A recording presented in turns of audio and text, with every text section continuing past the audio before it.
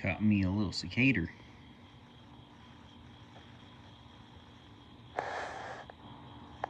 Again. Oh, he's gone.